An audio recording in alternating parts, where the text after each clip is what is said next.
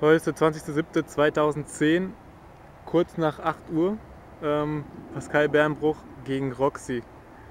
Wenn er gegen Roxy gewinnt, ist er auf jeden Fall fit für die EM.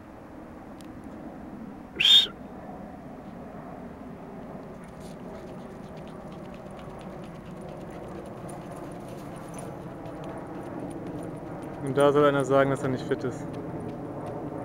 Unglaublich.